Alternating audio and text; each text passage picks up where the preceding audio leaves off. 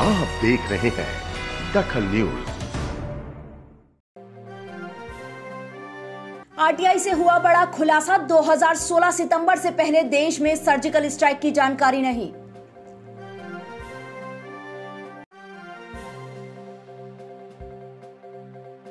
किसान कर्ज माफ़ी को लेकर मध्य प्रदेश में घमासान। मुख्यमंत्री कमलनाथ और पूर्व मुख्यमंत्री शिवराज सिंह आमने सामने।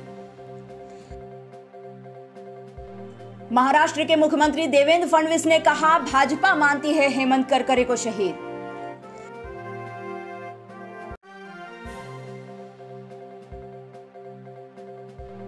भोपाल में दिग्विजय सिंह की जीत के लिए हुआ अनुष्ठान, साधुओं ने किया हटयोग कहा दिग्विजय जीतेंगे।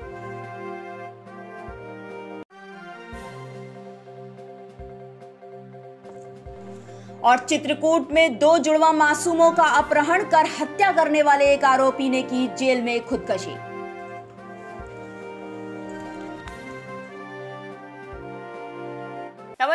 हूँ शेफाली आप देख रहे हैं दखल न्यूज़। अब खबरें विस्तार से। कांग्रेस के मनमोहन सिंह सरकार के समय छह सर्जिकल स्ट्राइक के दावों के बीच आरटीआई से यह खुलासा हुआ है कि साल 2016 से पहले कहीं भी सर्जिकल स्ट्राइक को अंजाम नहीं दिया गया। आरटीआई के तहत मांगी गई जानकारी का जवाब रक्षा मंत्रालय की ओर से दिया गया है। यूपीए सरकार में मनमोहन सिंह के प्रधानमंत्री रहते कितनी सर्जिकल स्ट्राइक हुई, ये जानने के लिए आरटीआई के ज़रिए जो जानकारी निकाली गई, वो बेहद चौंकाने वाली है। जम्मू के रहने वाले आरटीआई एक्टिविस्ट रोहित चौधरी ने आरटीआई के तहत रक्षा मंत्रालय से इस संबंध में जानकारी मांगी थी। मंत्रालय ने जवाब देते हुए बताया है कि अभी तक सिर्फ़ एक सर्जिकल स्ट्राइक हुई है। आरटीआई में ये जानकारी मांगी गई थी कि सितंबर 2016 से पहले भी क्या कोई सर्जिकल स्ट्राइक हुई थी। इसके जवाब में रक्षा मंत्रालय ने कहा कि इस तरह की किसी भी कार्रवाई का कोई पिछला रिकॉर्ड मंत्रालय में मौजूद नहीं है। आरटीआई के जवाब में यह भी कहा गया है कि सितंबर 2016 की सर्जिकल स्ट्राइक में किसी भी तरह की कोई क्षति नहीं हुई थी। दो दिन पहले भाजपा ने मध्य प्रदेश के मुख्यमंत्री कमलनाथ के खिलाफ आरोप पत्र जारी किया था, जिसमें किसानों की कर्ज माफ़ी के मुद्दे पर कमलनाथ सरकार पर सवाल खड़े किए गए थे।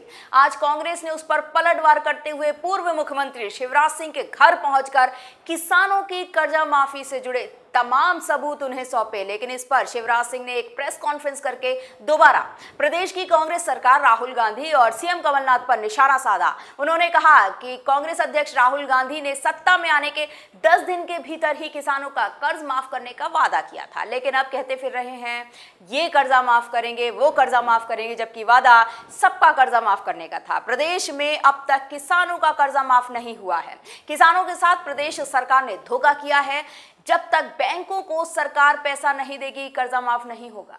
किसानों के कर्ज माफ़ी को लेकर बीजेपी कांग्रेस आमने सामने है।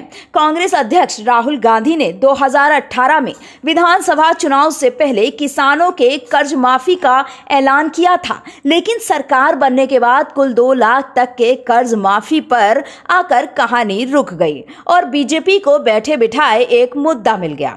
पूर्व मुख्यमंत्री शिवराज सिंह चौहान का कहना है, राहुल गांधी ने दस दिन में कर्ज माफ़ी का वादा किया था, लेकिन अब कह रहे रहे हैं कि ये कर्जा माफ़ करेंगे, वो कर्जा माफ़ करेंगे। वादा सबका कर्जा माफ़ करने का था। भाजपा सीधे साधे कर्जा माफ़ी को झूठा करार दे रही है। ऐसे में कांग्रेस ने इस पर पलटवार किया। आज सुबह कांग्रेस के वरिष्ठ नेता सुरेश पचौरी के नेतृत्व में एक प्रतिनिधि मंडल किसानों की कर्जा माफ़ी के सबूत लेकर सीधे शिवराज सिंह चौहान के बंगले पर पहुँच गए, जिससे ये भी तस्वीर देखी वो हैरान हो गया। कांग्रेस कार्यकर्ता गाड़ियों में कर्ज माफ़ी से जुड़े सर्टिफिकेट और फाइलों के बंडल लेकर पहुँचे थे। इस सूची में किसानों का नाम, उनके मोबाइल नंबर, जिस बैंक से लोन लिया था, उसकी सारी जानकारी है। इस मौके पर वरिष्ठ कांग्रेस नेता सुरेश पचौरी ने भाजपा पर निशाना साधा और कहा कि किसानों की कर्जा माफ़ी का मामला छुपा नहीं है। सारी जानकारियाँ ऑनलाइन दर्ज हैं। शिवराज सिंह चौहान और भाजपा लोगों पर गुमराह कर रहे हैं। झूठ परोस रही है। इसीलिए हमने आज शिवराज सिंह को किसानों की कर्जा माफ़ी से जुड़ी जानकारी दी है। ये किसान का नाम है। ये उसके पिता का नाम है। ये जिला है, तहसील है। ये सेंक्शन कितना अमाउंट हुआ है, वो है ब्रांच है। ये सारे के सारे डिटेल्स हैं। ये सारी वास्तविक जानकारी है। और सबसे बड़ी बात ये है कि जो किसान कल्याण मंत्रालय है, उसकी पोर्टल पे ये सब है। कोई चीज़ छिपी हुई नहीं है। अभी मैं प्रेस से बात पीसीसी में करूँगा आपको सारे डिटेल मैं मुहैया कराऊँगा। हमने उनकी जानकारी के लिए ये सारे के सारे 21 लाख किसानों का जो कर्जा माफ़ हुआ है, वो जानकारी पूरी प्रिंटेड फॉर्म में दी है और उनसे कहा है इसकी शुरुआत आपके गाँव जैत से हुई है आपके परिवार से हुई है। तो कहा क्या जा रहा है आरोप पत्र में? एक भी किसान का कर्जा माफ़ नहीं हुआ भाजपा यही कह रही है। तो जैत से शुरुआत करें अपने परिवार से शुरुआत करें। हर ज़िले से देखें कि वो कर्ज माफ़ हुआ है कि नहीं। अगर वो नहीं हुआ है तो फिर हमसे बात करें। वरना हमारे सीधे साधे भोले भाले अन्नदाताओं को गुमराह ना करें और अपने वचन याद करें। अब वो पोर्टल ही ना देखें और लोगों को गुमराह करें दिग्भ्रमित करें झूठ का सहारा लें। खुद कहने को कुछ है नहीं कि इनके समय में भ्रष्टाचार में प्रदेश नंबर एक पे था बलात्कार में नंबर एक पे था और प्रदेश जो है कर्जदार हो गया था। जब ये बताने और कहने को नहीं है तो झूठ के अलावा इनके पास क्या बचा इसके बाद बारी शिवराज सिंह की थी। पूर्व मुख्यमंत्री शिवराज सिंह चौहान ने मुख्यमंत्री कमलनाथ पर निशाना साधते हुए कहा कि केवल सूची बढ़ा देने से कर्जा माफ़ नहीं हो सकता है। प्रदेश के किसानों पर कुल अड़तालीस हज़ार करोड़ का कर्जा था। उसके एवज में प्रदेश सरकार ने बजट में केवल पाँच करोड़ का प्रावधान रखा और उसमें से भी सिर्फ़ तेरह सौ करोड़ रुपए इसके लिए दिए गए। तो कैसे सारे किसानों का कर्जा माफ़ हो गया। उन्होंने कहा कि मुख्यमंत्री कमलनाथ ने मुझे केवल कृषि विभाग की किसानों की लिस्ट भिजवाई है। आप बैंकों की सूची दीजिए। कर्ज माफ़ तो बैंक करेंगे। केवल माहौल बिगाड़ने और किसानों को भ्रमित करने से कुछ नहीं होगा। किसानों के साथ धोखा हुआ है। जब तक बैंकों को सरकार पैसा नहीं देगी, कर्ज माफ़ नहीं होगा। शिवराज सिंह चौहान ने सरकार पर किसानों से वादा खिलाफी का आरोप लगाते हुए कहा कि आज किसानों को अपना कर्ज चुकाने के नोटिस मिल रहे हैं। सरकार से, मुख्यमंत्री जी से ये आग्रह है कि मुझे संतुष्ट करने के बजाय वो किसानों को संतुष्ट करें भाई। बैंकों को पैसा जमा करें, सही अर्थों में कर्ज माफ़ी करें, और नहीं तो माननीय मुख्यमंत्री जी, ये अगल बगल में बैठे हुए लोग जो केवल रोजी पिक्चर केस करते हैं, कहते हैं, महाराज की जय हो चारों तरफ़ बस आपकी जयकार के नारे लग रहे हैं। कर्ज माफ़ी से किसान बड़ा प्रसन्न है। तेईस तारीख के दिन जब रिज़ल्ट आएँगे, तब पता चलेगा कि पाँव के नीचे से कब ज़मीन खिसक गई। किसानों से सीधे बात करें। इस तरह के पेन ड्राइव भेजने का कोई फ़ायदा नहीं है। और इसलिए मैं फिर अपनी बात पर दृढ़ हूँ। राहुल गांधी ने ये कहा था कि 10 दिन के अंदर सबका कर्ज माफ़ कर देंगे। कर्ज माफ़ नहीं हुआ है। कर्ज माफ़ी के नाम पर केवल झुंझुना पकड़ाया गया है। कई किसान जिनके पास कर्ज बहुत था, एक हज़ार, दो हज़ार, तीन हज़ार के कर्ज माफ़ी के प्रमाण पत्र उनको दे रहे हैं और जो दे रहे हैं, उसका पैसा भी बैंकों में डाला नहीं है। बल्कि लाखों लाख किसान ठगा गया है, छला गया है, परेशान है। आपने कर्ज माफ़ी की बात कह के सारे लाभ छीन लिए किसानों के। शिवराज सिंह ने राहुल गांधी को आड़े हाथों लेते हुए कहा कि कांग्रेस अध्यक्ष ने प्रदेश के किसानों के साथ बड़ा धोखा दिया है। उन्होंने 10 दिन में कर्जा माफ़ करने का वायदा किया था, लेकिन अब बहाने बना रहे हैं। राहुल गांधी ने सीधे सीधे कहा था कि किसानों का कर्जा माफ़ करेंगे। अब क्या हुआ? तेरा वादा, क्या इरादा? शिवराज सिंह ने प्रदेश सरकार के सबूत पर सवाल खड़े करते हुए कहा कि मेरा सरकार से आग्रह कि मुझे संतुष्ट करने के बजाय किसानों का कर्जा माफ़ करें। तेईस मई को रिज़ल्ट आएँगे तो पता चल जाएगा कि कैसे पैरों के नीचे से ज़मीन खिसक गई। इसके बाद शाम होते होते खुद कमलनाथ इस मामले पर सफ़ाई देने के लिए सामने आ गए और शिवराज सिंह पर निशाना साधा। उन्होंने कहा कि शिवराज सिंह चौहान झूठ बोल रहे हैं। कर्ज माफ़ी की असल हकीकत सामने लाने के लिए सामने आया हूँ। मैं देर से बोलता हूँ। कम बोलता हूँ, लेकिन झूठ नहीं बोलता हूँ। कमलनाथ ने कहा, ये लिस्ट छुपी हुई नहीं है। कृषि विभाग के पोर्टल पर है। शायद शिवराज जी पोर्टल खोलना नहीं जानते, इसीलिए हमने जिलेवार उन्हें ये लिस्ट सौंपी। ये वो लिस्ट है जिनका कर्जा माफ़ हो चुका है। कि जो 21 लाख के माफ़ हुए, इन सब के खाते में तभी माफ़ होता है जब बैंक के खाते में पैसा चला जाए। दो प्रकार के बैंक थे। दो प्रकार के बैंक थे कोऑपरेटिव बैंक और हमारे शेड्यूल्ड बैंक आपको जो बात अभी तक मैंने नहीं बताई, वो आज बात बताना चाहता जो शेड्यूल्ड बैंक थे, हमने उनसे कहा। मैंने उनसे जब कई महीने पहले चर्चा करी कि आप उद्योगपतियों का कर्जा माफ़ करते हो। आप उद्योगपतियों का कर्जा माफ़ करते हो। चालीस प्रतिशत आप माफ़ करते हो। आपके ये सब ग्रामीण बैंक हैं। अगर आप उद्योगपतियों का करते हो तो आप कितना कर्जा माफ़ करेंगे इन किसानों का? और अगर आप कर्जा नहीं माफ़ करेंगे, आप खाली उद्योगों की बैंक है तो आप उद्योग क्षेत्र में चलिए, ग्रामीण क्षेत्र छोड़िए। और इसमें जो शिवराज सिंह जी ने कहा कि राहुल गांधी ने वो वीडियो दिखा रहे थे दस दिन में, अब मुख्यमंत्री जी आप रहे हुए हैं। आप जानते हैं कैबिनेट का डिसीज़न वो दस दिन में नहीं होता। पर निर्णय हो गया, फैसला हो गया, आदेश हो गए। यही करना था दस दिन में। ये दस दिन में हमने किया, दस दिन में क्या, हमने तो एक घंटे में किया। महाराष्ट्र के मुख्यमंत्री देवेंद्र फडणवीस ने इंदौर में कहा कि हेमंत करकरे को भाजपा शहीद मानती है और प्रज्ञा ठाकुर को उन पर कोई भी बयान नहीं देना था। ठाकुर ने अपनी गलती मानकर बयान वापस ले लिया है। मराठी वोटरों के सवाल पर फडणवीस ने कहा कि इस बार के चुनाव जात पात धर्म के आधार पर नहीं हो रहे हैं। मोदी के विकास को जनता देख रही है। लोकसभा अध्यक्ष सुमित्रा महाजन के बारे में महाराष्ट्र के मुख्यमंत्री ने कहा कि ताई भाजपा का गौरव है और उन्हीं के आशीर्वाद से इंदौर में भाजपा की जीत होगी।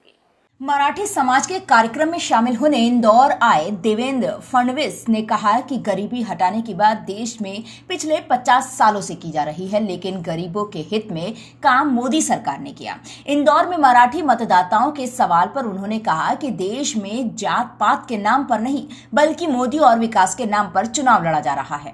इंदौर से लगातार आठ बार भाजपा सांसद रही सुमित्रा महाजन के नेतृत्व में भाजपा की जीत होने की बात फडणवीस ने कही।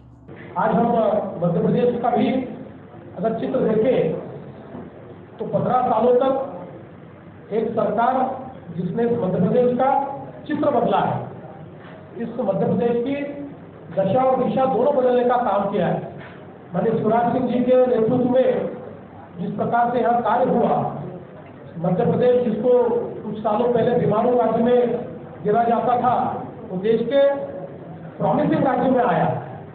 लेकिन जो वादे करके कांग्रेस की सरकार, कमलनाथ जी की सरकार मध्य प्रदेश में आई थी, उसने लोगों का मोह भंग कर दिया, कोई भी वादा पूरा नहीं किया, चाहे वो किसानों के प्रति कर्ज माफ़ी का वादा हो, चाहे बेरोजगारों को भत्ता देने की बात हो, हर मोर्चे पर ये सरकार विफल है। और सबसे बड़ी बात भाजपा और कांग्रेस में अंतर क्या है? तो एक और मोदी जी की सरकार जिस पर पाँच साल में कोई दाग नहीं लगा, कोई आरोप नहीं लगा, कोई भी इसके ऊपर भ्रष्टाचार की बात नहीं कर पाया, और यहाँ मुश्किल से कुछ दिन सरकार बनकर हुए, और जिस प्रकार के घपले घोटाले ये सामने आ रहे हैं, मुझे ये विश्वास है, मध्य प्रदेश में लोगों ने उस समय भी विधानसभा में भी कोई पूरा मैंडेट कांग्रेस को दिया नहीं। उल्लेखनीय है कि मुंबई आतंकी हमले में शहीद हुए हेमंत करकरे को लेकर भाजपा की भोपाल से प्रत्याशी साध्वी प्रज्ञा ठाकुर ने विवादित बयान दिया है। इस मामले में फडणवीस ने कहा कि भारतीय जनता पार्टी हेमंत करकरे को शहीद मानती है। प्रज्ञा ठाकुर को करकरे पर ऐसा बयान नहीं देना चाहिए था। हालाँकि वह प्रज्ञा ठाकुर का निजी बयान था और बाद में उन्होंने इसके लिए माफ़ी भी मांगी थी। करकरे जी का सवाल है, केवल महाराष्ट्र में भारतीय जनता पार्टी पूरे देश में करकरे जी को शहीद मानती है। करकरे जी ने देश के लिए अपनी जान दी है और जिस समय साध्वी जी ने ये बयान दिया, भारतीय जनता पार्टी ने स्पष्ट रूप से ये कहा कि भारतीय जनता पार्टी इस बयान से सहमत नहीं है। बाद में साध्वी जी ने भी उस बयान को वापस लिया, उन्होंने भी माफ़ी मांगी। पर ये मैं उससे पहले भी कह चुका हूँ कि ऐसा बयान नहीं दिया जाना चाहिए था। ये बिल्कुल मेरा स्पष्ट मत है, उस समय भी मैंने महाराष्ट्र के मुख्यमंत्री बोले कि आज समूचा विश्व हमारे साथ खड़ा है। पहले पड़ोसी देश भी साथ नहीं थे। पाकिस्तान को छोड़कर सभी इस्लामिक देश हमारे साथ हैं। ये सब मोदी जी की वजह से मुमकिन हुआ है। और एक मज़बूत, शक्तिशाली राष्ट्र की छवि पूरे विश्व में बनी है। कंप्यूटर बाबा ने संतों के साथ दिग्विजय सिंह की जीत के लिए भोपाल में हवन और हट योग किया। बड़ी संख्या में मौजूद साधु संतों ने न्यू सेफिया कॉलेज ग्राउंड में धुनी रमाई। इस मौके पर दिग्विजय सिंह, पत्नी अमृता सिंह के साथ मौजूद रहे, जहाँ एक तरफ़ कंप्यूटर बाबा ने इसे दिग्विजय की जीत के लिए बताया, वहीं कुछ साधु संतों का कहना है कि यह सनातन धर्म की रक्षा के लिए किया गया है। भोपाल से लोकसभा प्रत्याशी दिग्विजय सिंह के समर्थन में कंप्यूटर बाबा ने हट योग और हवन किया। कंप्यूटर बाबा ने बीजेपी पर निशाना साधा और कहा, मोदी सरकार ने राम मंदिर बनाने की बात कही थी, लेकिन मंदिर नहीं बना। कंप्यूटर बाबा ने साध्वी को आड़े हाथों लेते हुए कहा कि साध्वी ने शहीद हेमंत करकरे पर आपत्तिजनक टिप्पणी की है, जो सही बात नहीं है। हज़ारों की संख्या में मौजूद साधु संतों ने सेफिया ग्राउंड पर धुनी रमाई और हवन पूजन किया। दिग्विजय सिंह, पत्नी अमृता सिंह के साथ सेफिया ग्राउंड पहुँचे और हवन कर रहे साधु संतों का आशीर्वाद लिया। हमारे साथ जुड़े हुए हैं कंप्यूटर बाबा जिन्होंने हट योग का किया। दिग्विजय सिंह के पक्ष में चुनाव चल रहा है। संत लोग उतर के आए हैं। कंप्यूटर बाबा हमारे साथ हैं। हम उनसे बात करते हैं। कंप्यूटर बाबा, क्या है हट योग? ये क्यों किया जा रहा है? ये तप तपस्या हट योग कराया जाता है। जब कोई चीज़ हम लोग को मनवाना होता है ईश्वर से तो हम लोग हट योग करते हैं, ईश्वर से प्रार्थना करते हैं। और अपने अपने तरीके से कोई भजन, पूजन को खप्पर से में रख के आग लगा के और अखाड़ा खेल करके तप तपस्या की जाते हैं। ईश्वर से कहते हैं कि ईश्वर, धर्म से चलने वाले व्यक्तियों को, जैसे इस समय जो हमारे दिग्विजय सिंह हैं, जो नर्मदा की परिक्रमा करते हैं, नर्मदा के प्रति आस्था रखते हैं, संतों के प्रति आस्था रखते हैं, ऐसे संतों के ऐसे दिग्विजय सिंह को जिताने के लिए पूरा संत समाज यहाँ अनुष्ठान कर रहा है। संत बोले तो साधु साधु भी संत हैं। देखिएगा, जो रावण भी रावण रावण है, रावण ने साधु का भेष भेष रख करके और सीता जी का हरण किया था तो रावण साधु नहीं हो सकता है। यदि जो आतंकवाद में फंसे, जो हत्या के कांड में फंसे, जो हेमंत करकरे जिसने देश के लिए शहीद हो गए, उनको शराब दें, वो साधु नहीं हो सकता। साधु वो होता है, जो आम का पेड़ होता है, आम को पत्थर भी खाता है और फल भी देता है, ऐसा साधु होता है। बीजेपी से कंप्यूटर बाबा क्यों खा पाए इतना? बीजेपी सनातन धर्म को आ, के जिस ढंग से अधर्म का काम करते हैं धर्म से नहीं चलते हैं बीजेपी केवल दिखावा करती धर्म का पर कूट कूट के अधर्म भरा हुआ है बीजेपी में। चाहे वो केंद्र में हो चाहे राज्य में हो हर जगह बीजेपी का यही काम है। लोगों को उल्लू बनाया मूर्खों को सवा सौ करोड़ को मूर्ख बनाया कहा था राम मंदिर बनाएँगे नहीं बनाया। ऐसे सारे संत समाज बड़े नाराज़ हैं दुखित हैं और ठगे से महसूस कर रहे हैं। संत समाज रोजगारों के लिए भी ऐसे ही हट योग करे और ये आप करेंगे आप अभी पहले जिस जिसमें देश को चलाने के लिए संविधान की रक्षा करने के लिए जिसको हम सबसे पहले उसका निर्णय तो कर लें। और सबका कहना है कि राम राम ही अब की बार और बदल के रख दो चौकीदार। तो ये थे हमारे साथ कंप्यूटर बाबू मध्य प्रदेश की राजनीति में पहली बार है जब साधु संत उतर के सामने आए हैं हट योग कर रहे हैं यहाँ पे हवन किया जा रहा है। देखना यह होगा कि तेईस तारीख को क्या रिज़ल्ट आता है।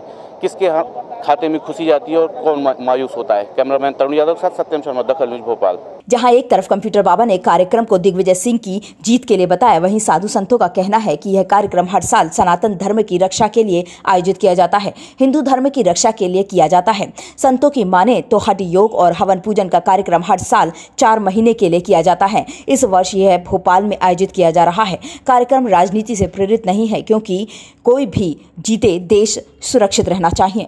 हमारे साथ इस वक्त जुड़े हुए हैं साधु संत जिन्होंने हट योग किया है। आइए हम उनसे बात करते हैं। वो क्या चाहते हैं? बाबा क्या चाहते हैं आप? हम तो बस केवल यही चाहते हैं कि हमारा सनातन बना रहे और साधना यज्ञ हवन तपस्याओं में हमको कर्म करने के लिए हम लोगों को रहने के लिए हम लोगों की जीविका को चलाने के लिए जो भी सरकार आए वह हम लोगों के लिए कुछ ऐसे कार्य करे जिससे सनातन धर्म की उन्नति होती रहे। और सनातन धर्म के साथ साथ सनातन के साथ साथ साधना यज्ञ और सनातन के प्रति आस्था रखने वालों की बढ़ोतरी होती रहे। बोला जा रहा है कि ये साधु संत ने जो जो एकत्रित हुए यहाँ पे इन्होंने दिग्विजय सिंह के पक्ष में ये सब हट योग किया है। क्या ये सच है? देखिए हम लोग तो अपनी योग साधना क्रिया चार महीने की ये नित्य करते हैं। और ये यहाँ करें या फिर कहीं भी रहें हमको चार महीने इस समय नित्य करनी ही करनी है। इसमें हमें किसी से भी श्रेय नहीं और किसी का भी विलय नहीं। यह कर्म हमारा सनातन का है जो हमारा चातुर्मास चलता है। ठीक दिग्विजय सिंह के विपक्ष में एक साध्वी लड़ रही है साध्वी प्रज्ञा ठाकुर। जिन्होंने जिन्होंने दिग्विजय सिंह बोल उनका बोलना है कि दिग्विजय सिंह ने उनको फंसाया था। क्या उस पक्ष में अब हम जा रहे हैं देखिए मैं इस पक्ष में तो ज़्यादा कुछ जानता नहीं। क्योंकि साधना में और सनातन में जो चाहेंगे वह मैं जवाब दूँगा। इस पक्ष में मैं बिल्कुल अनभिज्ञ तो ये जो पूरा योग किया जा रहा है हट योग किया जा रहा है वो साधु और सना, सनातन के लिए किया जा रहा है? ये सनातन का चार महीने का यज्ञ होता है और निरंतर कंटिन्यूस चलता है चार महीने जेठ के दशहरे तक। इस निमित्त यह हर बार हर जगह हर साल होता रहता है। तो साधु बाबा का कहना है कि ये सनातन का ये चार महीने का हट होता है जो सन, जो ये धर्म है चार महीने में लगता है। तो ये उस हट योग के तहत इनका आए इन्होंने कहा सनातन धर्म को बचाने के लिए आए हैं, ये किसी के पक्ष में नहीं है। कैमरामैन तरुण यादव के साथ सत्यम शर्मा, दखल न्यूज़ भोपाल। समय ब्रेक का है। ब्रेक के बाद जल्द हाजिर होंगे, आप देखते रहिए दखल न्यूज़।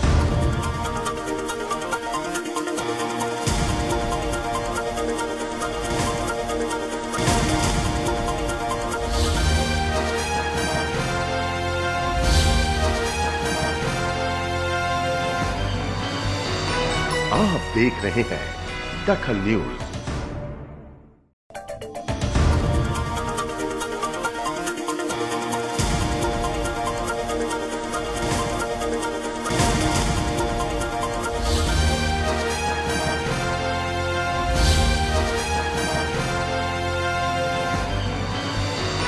आप देख रहे हैं दखल न्यूज़। आपका स्वागत है। अपने बेबाक बयानों और अंदाज को लेकर अक्सर चर्चा में रहने वाली एक्ट्रेस स्वरा भास्कर फिर सुर्खियों में। उन्होंने भोपाल से बीजेपी की लोकसभा प्रत्याशी साध्वी प्रज्ञा को लेकर बड़ा बयान दिया। स्वरा का कहना है कि आतंकवादी गतिविधियों की आरोपी साध्वी प्रज्ञा ठाकुर की उम्मीदवारी निंदनीय है। दिग्विजय सिंह बेहतर उम्मीदवार है।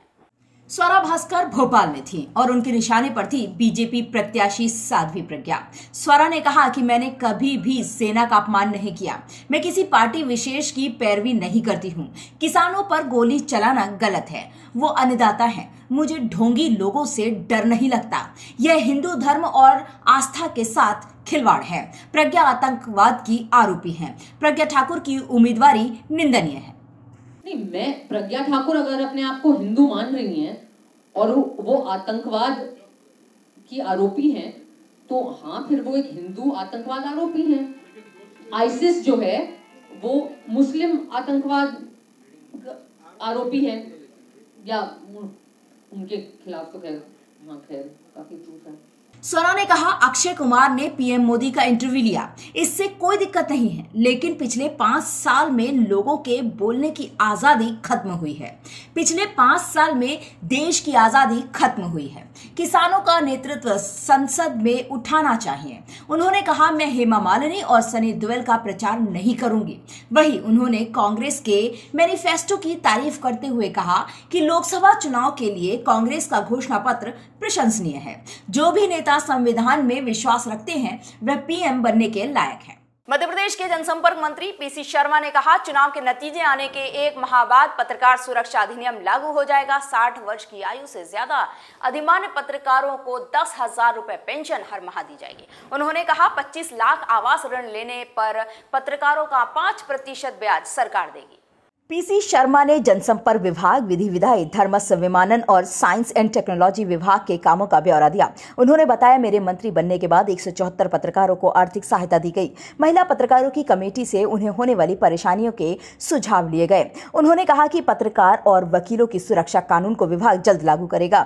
चुनाव के नतीजे आने के एक माह बाद पत्रकार सुरक्षा अधिनियम लागू हो जाएगा। साठ वर्ष की आयु से ज़्यादा के अधिमान्य पत्रकारों को दस हज़ार की पेंशन दी जाएगी। उन्होंने कहा, भाजपा शासन में जो फर्जी पत्रकारों ने अधिमान्यता कार्ड बनाए हैं, उनकी जाँच की जाएगी और पत्रकार कॉलोनियों में जिन नेताओं के आवास हैं, उनकी भी जाँच की जाएगी।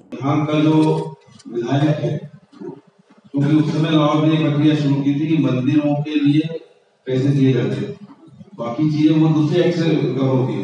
लेकिन तो हम लोग जब विधायक थे यहाँ थे, क्या पहले तो विधायक के बाद एक राशि होती थी जो केवल मंदिरों को दे सकता था तो ये जो स्टेट थे उनमें जो चीज़ें लागू नहीं हुआ वो वैसे की वैसे स्टेट प्रदेश में हो गई। उसके हिसाब से जो मुजाहिद का एक नाम आया है तो ग्वालियर स्टेट की जो सारी की वो मेरा वो मेरा वो मेरा गाड़ी है वो मेरा बताया, वो वो मेरे से है। शर्मा ने कहा 25 लाख तक के आवास ऋण का 5 प्रतिशत ब्याज जनसंपर्क विभाग देगा। मकान आवंटन में पत्रकारों को आवास शासकीय सेवकों जितने ही शुल्क पर दिया जाएगा। अब पत्रकार के साथ अनहोनी होने पर 15 लाख उसके परिवार को दिए जाएँगे। उन्होंने बताया, बाल अपराधों के त्वरित सुनवाई फास्ट ट्रैक अदालत में होगी। न्यायालय में शुल्क भी ऑनलाइन जमा होगा। चित्रकूट में दो जुड़वा मासूमों का अपहरण कर हत्या करने वाले आरोपियों में से एक ने सतना सेंट्रल जेल में फांसी लगाकर आत्महत्या कर ली है। इस हाई प्रोफ़ाइल मामले में पुलिस ने छह आरोपियों को पकड़ा था। बता दें, चित्रकूट के तेल कारोबारी ब्रजेश रावत के जुड़वा बेटे प्रियांश और श्रेयांश का गत 12 फरवरी को अपहरण कर लिया गया था। बाद में 20 लाख की फिरौती लेने के बाद भी बदमाशों ने दोनों मासूमों की निर्मम हत्या कर लाशें नदी में फेंक दी थी। दो जुड़वा मासूम का अपहरण कर हत्या करने वाले आरोपियों में से एक ने सतना सेंट्रल जेल में फांसी लगा ली। पुलिस ने इस मामले में छह आरोपियों को पकड़ा था। इनमें से एक आरोपी रामकेश यादव ने सतना सेंट्रल जेल में फांसी लगाई है। इस घटना के बाद जेल में हड़कम मच गया। शेष पाँच आरोपी अभी जेल में हैं। फ़िलहाल जेल प्रशासन की ओर से इस बारे में कोई जानकारी नहीं दी जा रही है कि यह घटना कैसे हुई। जेल प्रशासन इस मामले में न्यायिक जाँच करवा रहा है। चित्रकूट में आईजी रीवा चंचल शेखर ने बताया कि पूरे घटनाक्रम के खुलासे के लिए एसआईटी का गठन किया गया था, जिन्होंने बाद में घटना का खुलासा करते हुए छह आरोपियों को पकड़ा था। इस घटना का मास्टरमाइंड इंजीनियर का छात्र पद्म शुक्ला निकला था। पद्म ने राजू द्विवेदी नामक अपने साथी के साथ स्कूल बस से इन जुड़वा भाइयों का अपहरण किया था। अपहरण की सनसनीखेज घटना स्कूल बस में लगे सीसीटीवी कैमरे में कैद हो गई थी। बाद में ये वीडियो काफ़ी चर्चाओं में रहा था और इसी से पुलिस को लीड मिली थी। घटना में लकी उर्फ़ आलोक सिंह तोमर, शिक्षक रामकेश यादव, उसके मामा पिंटू और पिंटा और विक्रमजीत सिंह नामक आरोपी भी वारदात में शामिल रहे। इन्हीं में से एक रामकेश ने जेल में फांसी लगाकर आत्महत्या की है। पुलिस आत्महत्या की इस घटना को लेकर कुछ भी बोलने से बच रही है। चुनाव में धन बल के उपयोग को रोकने के लिए इंदौर पुलिस लगातार कार्रवाई कर रही है। इसी तारतम्य में इंदौर की एमआईजी थाना पुलिस ने एक व्यापारी से करीब छियासी लाख रुपए बरामद किए हैं। व्यापारी इस रुपए के बारे में ठीक से कोई जानकारी नहीं दे पा रहा है। इंदौर के राव एसडीएम के द्वारा थाना एमआईजी को सूचना दी गई थी कि उनके थाना क्षेत्र में एक बड़ी राशि का ट्रांसपोर्ट होना है। इसी सूचना के आधार पर पुलिस ने चेकिंग पॉइंट लगाया और चेकिंग के दौरान एक कार की तलाशी ली तो उसमें से नोटों की गड्डिया मिली। इस कार में रखे लगभग छियासी लाख रुपए पुलिस ने बरामद किए। यह राशि एक सोना व्यापारी निखिल सोनी की बताई जा रही है, जिसे लेकर सेल्समैन वेंकटेश लड्डा कार में ले जा रहे थे। वेंकटेश लड्डा से पूछताछ की जा रही है, वह इस रकम का हिसाब नहीं दे पाया है। पुलिस ने आयकर विभाग को भी इसकी जानकारी दे दी है।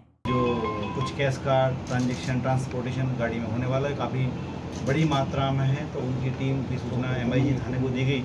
जहाँ पर गाड़ी रोककर संयुक्त टीम द्वारा नकदी राशि जब्त की गई है। मोटे तौर पर राशि जो जब्त हुई है लगभग छियालीस लाख छियासी एट्टी सिक्स छियासी लाख रुपए का अनुमान है। इसकी अभी पूर्ण गिनती बाकी है। मोटे तौर पर जो जिन व्यक्तियों से राशि मिली है उनके द्वारा और गड्डी के अनुमान तय छियासी लाख की ये राशि है। इसको एफ़ टीम द्वारा जब्त किया जाएगा और इसके बाद इनकम टैक्स को भी इसकी सूचना विधिवत दी जाएगी और बाकी इनको अपना पक्ष रखने का मौका दिया जाएगा। समय ब्रेक का है। ब्रेक के बाद जल्द हाजिर होंगे। आप देखते रहिए दखल न्यूज़।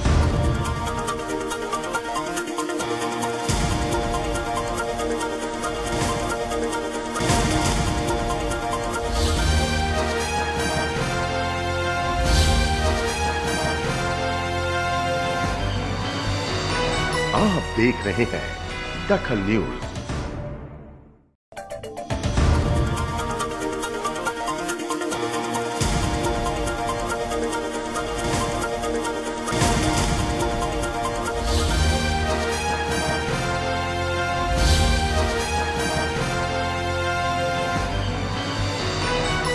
देख रहे हैं दखल न्यूज़। ब्रेक के बाद आपका स्वागत है। एक महिला की हत्या के आरोप में पुलिस ने उसकी बेटी और उसके साथी को गिरफ़्तार किया है। शराब के नशे में माँ बेटी का झगड़ा हुआ और आवेश में बेटी ने माँ की पीट पीट कर जान ले ली। घटना जबलपुर के पानागढ़ की है। एक मई को पनागर में हुई 55 साल की महिला सुखमंती बाई की हत्या की गुत्थी पुलिस ने सुलझा ली है। पनागर पुलिस ने महिला की हत्या के आरोप में उसकी सगी बेटी सहित दो लोगों को गिरफ़्तार किया है। हत्या की वजह शराब पीने को लेकर हुआ विवाद बताया जा रहा है। घटना एक मई की है, जब पनागर में लगे एक खेत में महिला का शव मिलने की पुलिस को सूचना मिली। जानकारी लेने पर महिला की शिनाख्त पचपन साल की सुखमंती बाई के रूप में हुई। पुलिस ने मृतिका के विषय में जब उसकी बेटी बेटी श्यामवती से पूछताछ की तो उसने बताया कि घटना वाले दिन दोनों ने साथ में बैठकर शराब पी थी और बाद में वो खाना बनाने चली गई, जबकि उसकी माँ वहीं लेटी रही। कुछ देर बाद जब वो अपनी माँ के पास पहुँची तो वह मृत हो चुकी थी। पुलिस को श्यामबाई की बातों पर शक हुआ, जिसके बाद उसने मृतक की बेटी पर फोकस किया। एक मई को पनागर क्षेत्र में सुखमंती पनिका की लाश खेत की मेड़ पर मिली थी। जिसमें प्रथम दृष्टया हत्या का शक होने से पनागर पुलिस, क्राइम ब्रांच और एडिशनल एसपी सिटी द्वारा उसमें विवेचना प्रारंभ करी गई है। पूरी जाँच पड़ताल पे ये पाया गया है कि उस दिन सुखमंती पनिका ने अपनी बेटी के साथ वहीं पे स्पॉट पर शराब पी और उसके बाद हुए झगड़े के बाद उसकी बेटी और पास के ही एक खेत के एक व्यक्ति, ताराचंद ने, दोनों ने मिलकर उसकी मारपीट करी, जिस मारपीट में उसकी मृत्यु कारित हुई है। दोनों को गिरफ़्तार कर लिया गया है। और उनको आगे की जो कार्रवाई है वो की जा रही है। पुलिस ने मृतिका की बेटी से कड़ाई से पूछताछ की। तब उसने बताया कि खेत के ही चौकीदार ताराचंद के साथ मिलकर उसने अपनी माँ की हत्या की। घटना को लेकर श्यामबाई ने पनागर पुलिस और क्राइम ब्रांच को बताया कि घटना वाले दिन शराब पीने के बाद उसका अपनी माँ से विवाद हो गया था। उसी विवाद के समय ताराचंद भी वहाँ पहुँच गया और दोनों ने डंडे से पीट पीट कर उसकी हत्या कर दी और शव को खेत के किनारे फेंक दिया। पुलिस ने दोनों आरोपियों को गिरफ़्तार कर लिया है। पुलिस इस बात को स्पष्ट नहीं कर पाई है कि श्यामवती और तानाचंद के बीच क्या ऐसा रिश्ता था कि महिला ने एक बार कहने पर ही उसने सुखमंती बाई की हत्या करने के लिए अपनी हामी भर दी। सड़क पर झूलते तारों ने दो लोगों की जान ले ली। पानी का टैंकर सड़क की तराई करने जा रहा था। तभी झूलते हुए तार टैंकर के ढक्कन से जा टकराया। टैंकर में करंट फैलने से ड्राइवर और उसके हेल्पर की तुरंत ही मौत हो टैंकर का ड्राइवर और हेल्पर ग्राम इटावा से नंदिया खेड़ा तक बनने वाली सीसी सड़क पर टैंकर से तराई करते थे। गोटेक कंस्ट्रक्शन कंपनी इस सड़क का निर्माण कर रही है।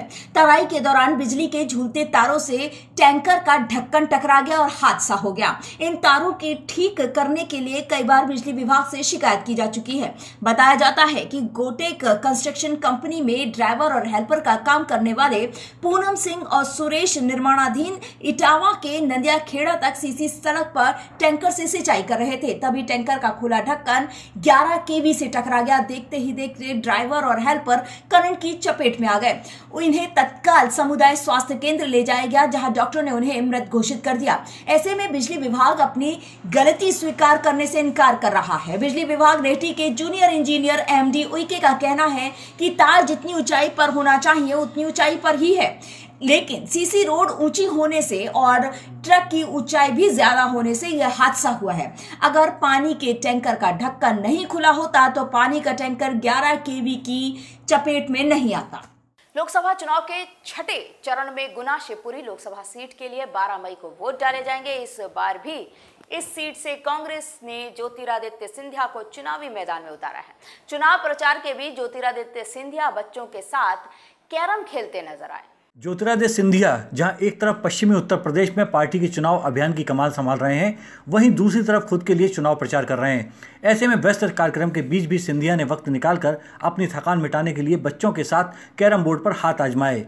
दरअसल सिंधिया चुनाव प्रचार के दौरान एक घर में कुछ बच्चों को कैरम बोर्ड खेलता हुआ देखा और वहाँ रुक गए और बच्चों के साथ कैरम खेलने लगे। बच्चे भी सिंधिया को अपने बीच पाकर काफ़ी खुश नज़र आए।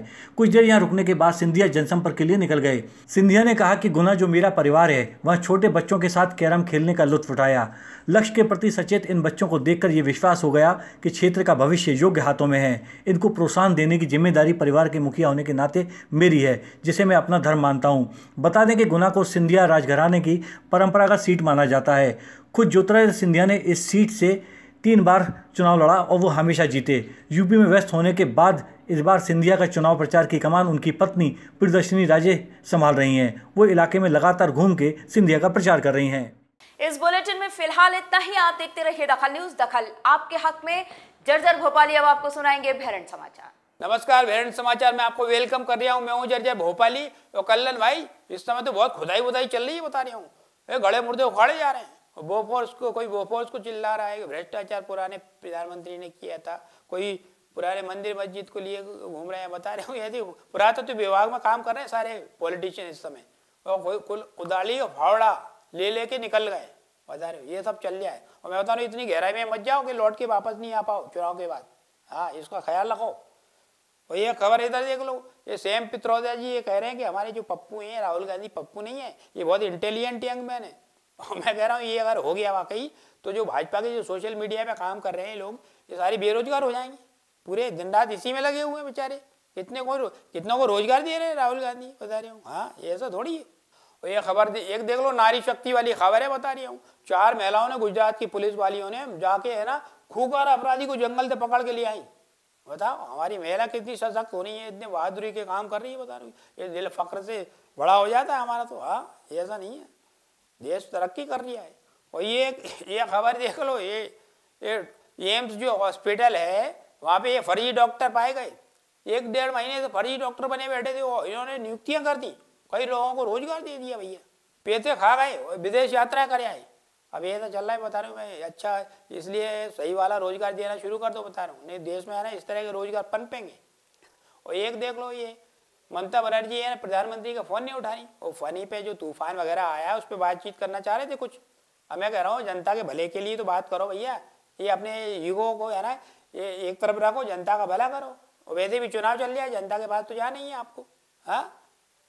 और ये फैनी तूफ़ान जो आया है फनी जो को, कोई फनी कह रहा है उसको फैनी कह रहा है इस पर यूएन ने बड़ी तारीफ़ की है उड़ीसा सरकार की। इनका जो मैनेजमेंट बहुत अच्छा हो गया। तो मैं बता रही हूँ भारत है ना, वो पिछड़ा वाला वैसा नहीं था कि भैया ये इतना नुकसान हो गया, मर गए लोग, ये हो गया हो गया, पहले से अलर्ट हो जाते हैं हम लोग अब। अब तो डेवलपमेंट चल रहा है देश में, ऐसा नहीं है हाँ हमारा दिल है ना फख्र से बड़ा हो जाता है इसमें। तो नमस्कार, आज के लिए इतना ही।